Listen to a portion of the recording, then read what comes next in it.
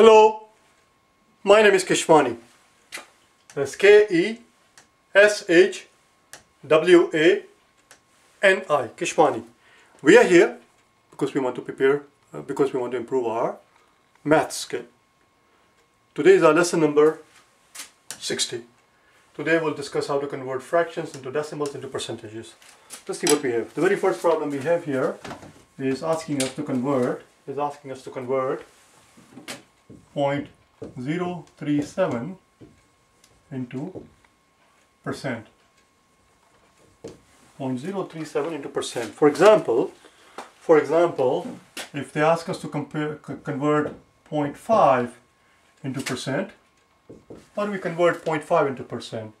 0.5 of course we know is half, 0.5 everybody knows is half, and half we know is 50%.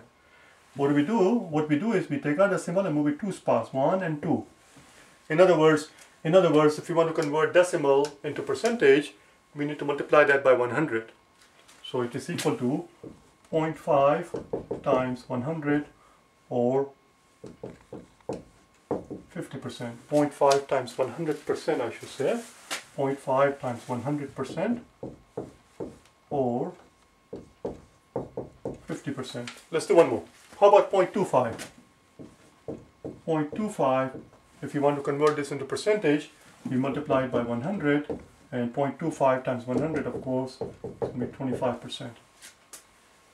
I shouldn't write it like this because 0.25 times 100 is not 25%. 0.25 is 25%. So 0.25 times 100, this is how many percent it is. 0.25 0.25 is simply 0.25 times 100 percent, which boils down to 25 percent. We're making too much fuss about it. We just have to move the decimal spots two places. 0.1, 0.1, we move the decimal two places, 1 and 2, and it becomes 10 percent. Similarly, here we have 0.037, 0.037. The decimal is right here. We have to move two spots, 1 and 2. It's going to end up here. It's equal to 3.7%. 0.037 into percent is, point, is simply 3.7%. Is simply 3.7%. Let's do the next one. Let's do the next one. The next one is asking us to convert 45% into fraction into fraction. As we have talked about it before, whenever they ask you to convert any percentage into a fraction, the answer choices that are going to be laid out in front of us in a multiple choice exam format. That's what that's what that's what we're preparing for. Whether you're preparing for ACT or SAT or TEAS or GMAT or GRE, these are all multiple choice questions, multiple choice exams, and the answer choices are going to be presented to you. If they're asking us to convert percentage into fractions, the answer choice is going to be presented to us in the most simplest, most reduced fraction. For example, 45%, of course, we know, we know 45% means 45 over 100. But we can't leave it like that because no answer choice is going to match that. We have to reduce it. We should realize that 45 is a multiple of 5 and 100 is a multiple of 5. So we need to divide top and bottom by 5. 45 has 9 5, 9 5 is 45, and 10 has 2 5s, 10 has 2 5s, and 0 has no 5s. So it boils down to 9 over 20, 9 over 20, which makes perfect sense because 9 over 20, if you want to multiply 5, if you multiply it by top and bottom by 5, 5 and 5, you will end up with 45, 9 times 5 is 45, and 20 times 5 is 100. But anyways, in, more, in its most reduced form, in its most reduced form, 45% into fraction is 9 over 20. The answer is 9 over 20. Let's do the next one, shall we? Let's do the next one. Convert 38 38% into decimal. Convert 38% into a decimal, which is actually a very silly question. 38% in decimal is just point 38, nothing to it.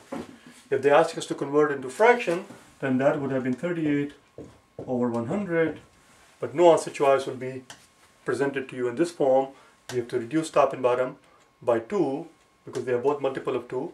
Let's divide top by 2, let's, div let's divide bottom by 2. How many 2's does 3 have? 3 has only one 2.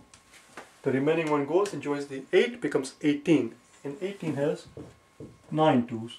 10 has 5 2's and 0 has no 2's. So it, it ends up as 19 over 50. 38% in its most reduced fraction form is equal to 19 over 50 or in decimal is simply 0.38. Let's do the next one, shall we? Let's do the next one. Convert, convert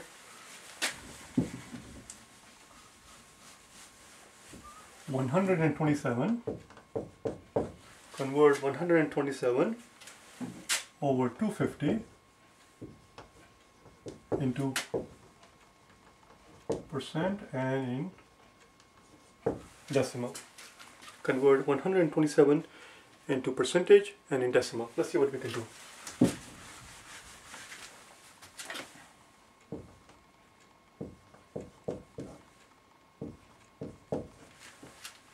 Well, we know we know 25. We know 25 times 4 is 100. We know that if 25 times 4 is 100, then 250 times 4 should be 1000.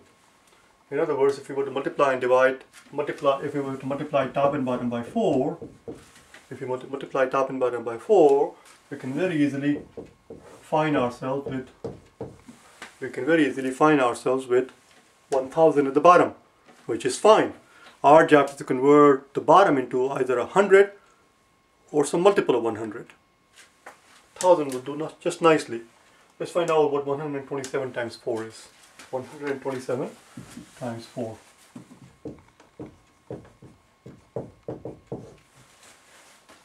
Seven fours are 28, 8, carry 2, 2 fours are 8, plus 2 is 10, 0, carry 1, 4 ones are 4, plus 1 is 5. We end up with 508 over 1000.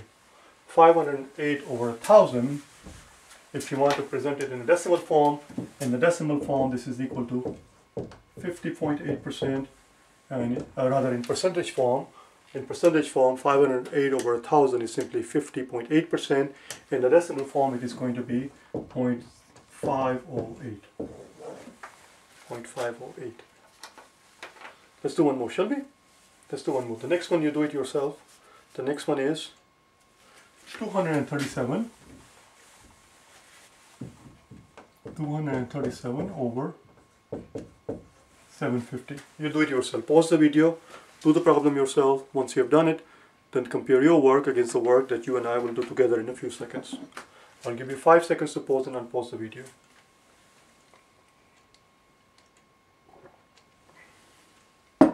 Alright.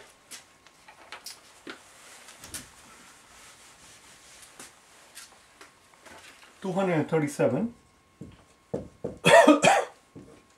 over 750. Oh, we never talked about, well, I'm not sure if it was in this video or the previous video, yesterday, we talked about a moot point. What's a moot point? This moot point is something that we learned in our vocabulary lessons long time ago, and I'm going to tell you which day it was. Day number seven.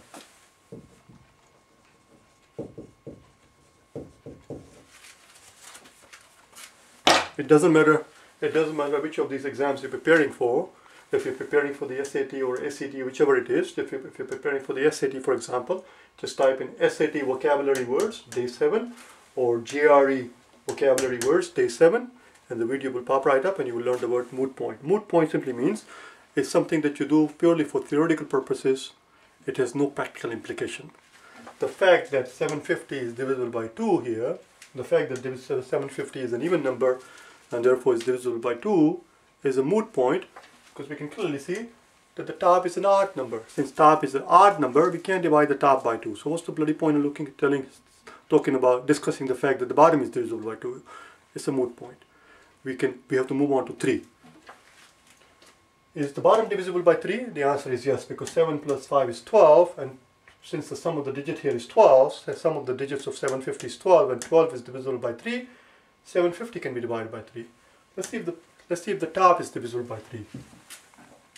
2 plus 3 plus 7 also happens to add up to 12, which means top is also divisible by 3. Let's divide top and bottom by 3. Let's divide top and bottom by 3. Let's do it here. 237. 237, we're going to divide it by 3. How many 3's does 2 have? 2 has no 3. 2 is too puny. 2 is too puny. It has no 3's.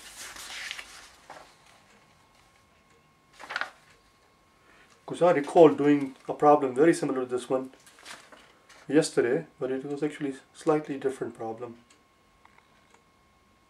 It's not the same problem. I, I, I have no need to freak out, okay? Okay, so 2 has how many 3's? 2 has no 3's, 2 is too puny to have any 3's. That power 2 goes and joins 3, it gangs up a 3 and becomes 23. 23 has 7 3's. 7 3's are 21. 7 3's are 21. The remaining 2 goes and joins the 7, it becomes 27. 27 has 9 3's. I could have sworn that we did the exact same thing yesterday. 237 times 50. Oh, never mind. We did this problem yesterday. I'm not going to redo the whole thing. But since I started, I'm going to finish it very quickly. It's the exact same problem. I recognize it. I recognize as I was doing it. Yes, we did something like this yesterday. I don't know how I ended up duplicating the same problem here on the on the two on, on my notes here for two days. But let's finish it up very quickly. So it's 79. So 2 has no 3's, 2 goes and joins the 3 becomes 23, 23 has 7 3's, the remaining 2 goes and joins the 7 becomes 27, 27 has 9 3's. Let's divide the bottom by 3 because we divided the top by 3, we must divide the bottom by 3. 7 has 2 3's, the remaining one goes and joins, remaining, remaining one goes and joins the 5 becomes 15, 15 has 5 3's. We end up with 79 over 250, 79 over 250. Now if you go to multiply and divide the top and bottom by 4, at the bottom we'll end up with 1000 because we want to get at the bottom we want one, 100 or some multiple of 100 1000 will do nicely. At the bottom we end up with 1000 and on the top we have 79 79 times 4 we know we know 80 times 4 we know we know 8 fours are 32 we know our table 8 fours are 32 if 8 fours are 32, then 84 should be 320. We do not have 84s, we have 79 fours. 79 fours should be 4 less than 320, and it is going to be 316. 316. 316 divided by 1000 is same as 31.6% or 0.316. But as I said, this is the exact same problem that we did yesterday not the very last problem but the penultimate problem on yesterday in yesterday's video day number 59 the penultimate problem.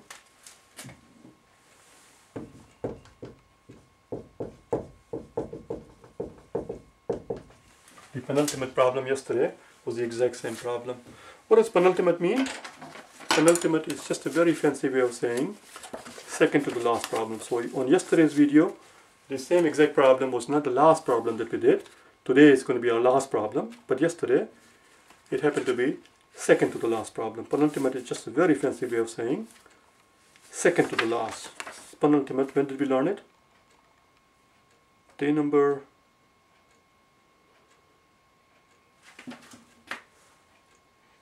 Just give me one brief second I'll find it. For day number 11. Again, if you're interested in learning this word, along with some other words to expand your vocabulary. Just type in SAT vocabulary words day 11 or GRE vocabulary words day 11 or whichever exam you're preparing for. Just type that word uh, exam, GMAT vocabulary words day 11 and the video will pop up where we learn the word penultimate. Okay, bye now.